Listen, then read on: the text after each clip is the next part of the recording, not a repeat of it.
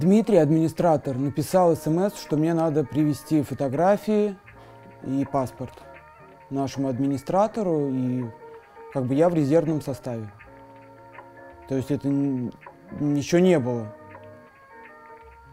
Потом я приехал отпечатки пальцев в посольство Португалии. Тоже еще как бы сто процентов не было известно. И, наверное, перед тем, как пришел прям сам вызов. Все равно еще не верил, пока не приехала в расположение и не одела форму. Я заплакал. Ну, от счастья, конечно. И все не понимали, почему я реву. Все подходят, что случилось, что случилось. Я говорю, меня вызвали в сборную. Ну, я всегда говорил, говорю и буду говорить, что я патриот своей страны. И я как бы всегда ждала, жду и буду ждать вызова. И я всегда готова приезжать и выступать за сборную. И то, что я забивала, это как футболист, как нападающий, это в крови. И это не из-за того, чтобы кому-то что-то доказать. Вот я забила 9, почему я не в сборной? Я лучше бомбардир, почему я не в сборной? Такого не было. Даже если бы я один забил, все равно это было бы. Почему я не в сборной? Я не считаю, что я хуже кого-то.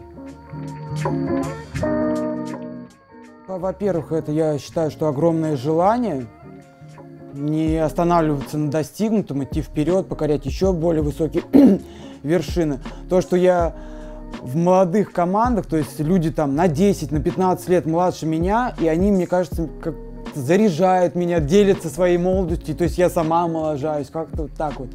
Уже там у меня не второе, наверное, уже и третье, и четвертое дыхание открылось. И дай бог, чтобы оно открывалось еще многие-многие года.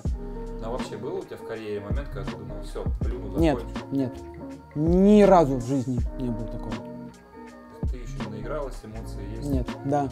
На сколько лет себя ощущаешь в футбольном плане и в жизненном плане? Вот мне кажется, вот сколько тоже вот не спрашивали, 21. Вот как вот какое-то время остановилось, или вот когда пошел пик моей карьеры, то есть в гору, вот 21, и, видимо, так он и, и остался, и то есть старше я как бы не становлюсь. Что действительно, что в жизни, что как игрок, как футболист.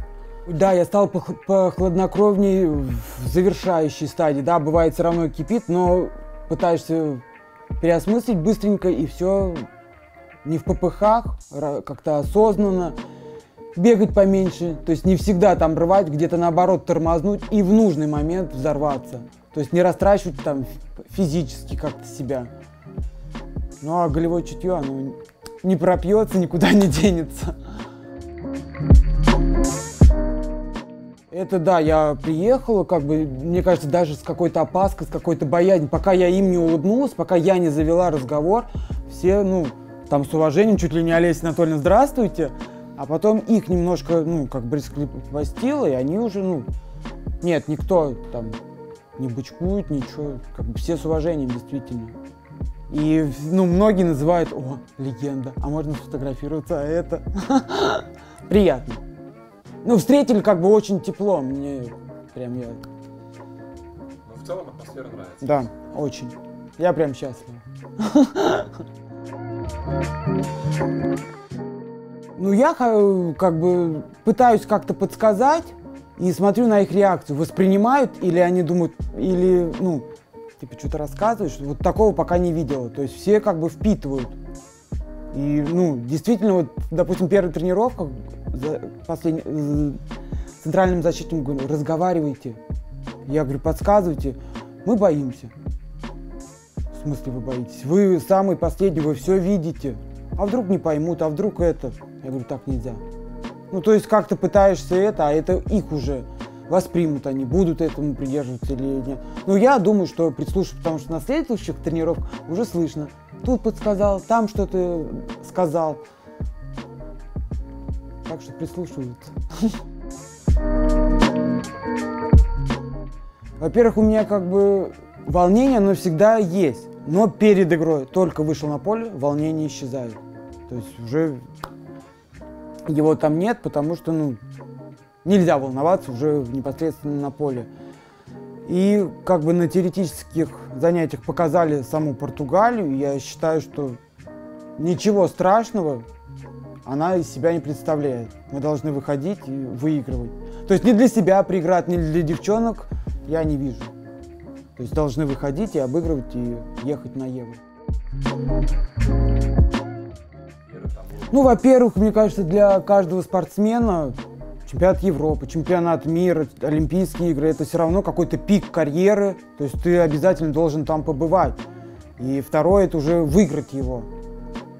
Ну, я думаю, это пока ты сам туда не попадешь, это не объяснить и не донести. То есть надо как бы понимать, что это ну, пик, это другие эмоции, то есть они в два раза будут завышаться, это болельщики тоже все равно их будет больше. Внимание там, ну, даже как бы себя засветить, чтобы в Европе пос посмотрели на тебя, куда-то потом пригласили. Ну, ну, я считаю, что это вот, ну, для спортсмена очень важно, как бы повышать свою какую-то планку и поехать на Европу, ну, мне кажется, это сверхмотивация.